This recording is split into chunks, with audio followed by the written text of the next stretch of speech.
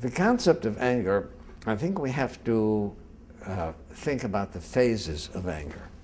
There are three phases of anger. One is somebody provokes me. I feel angry, okay? I don't have any control over that. Right?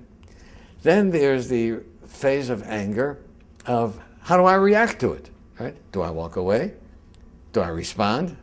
Do I punch the guy in the face? Do I call him with some nasty name? That's my reaction to anger.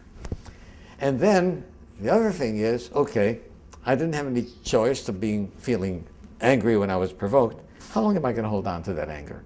An hour? A day? 22 years? Right? So in order to keep things straight, I give these three phases three different names. The feeling of anger, I call anger. The reaction to anger, I call rage. And the hanging onto the anger is called resentment. Right? And then if you clarify it, I say, okay, I can do nothing about my feeling of anger other than perhaps take some things in perspective. Right?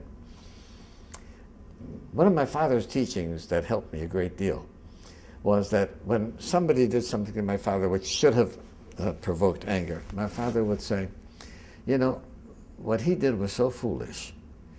If he only knew how foolish it was what he did, uh, he wouldn't have done it. So, you know, I feel sorry for that person for being such a fool. But if you feel sorry for a person, how can you be angry at him? You know, I feel pity for him. Pity and anger doesn't go together. Uh, but nevertheless, I can't control how I feel when provoked, but I certainly can control what my reaction is going to be. And finally, how long do I hang on to the resentments? My greatest lesson came from Alcoholics Anonymous, where somebody said, Harboring a resentment is allowing someone who you don't like to live inside your head without paying any rent. And I'm not that kind of a guy. I'm not a nice guy like that to let somebody else rent. So uh, AA helped me get rid of resentments. Uh, reacting to anger took me a while, right, to uh, be able to control my rage. And then I had to realize that you know, this is part of my being human. Animals react with rage when, when provoked. Right? I, as a human being, am supposed to be above that. You know, I'm more than a Homo sapiens. So I learned how to control my anger. So uh, I think those are, if a person keeps those things in mind, right?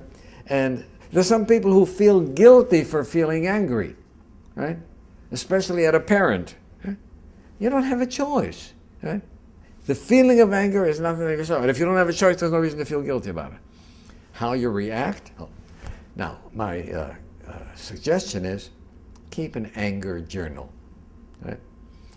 Here's what happened today, right? somebody did this, is that, and here's what, how I did, right? Then at night, you see, at the time that I'm provoked, my thinking isn't clear because I'm under this pressure to, to, respond.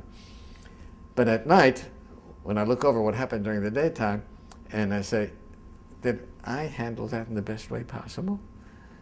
Could I have done something better? And that becomes a lesson for the next time. Right? So I think keeping a journal about anger and how we respond to it is an excellent way of learning because ultimately, if I am enraged, it doesn't hurt the other person as much as it hurts me.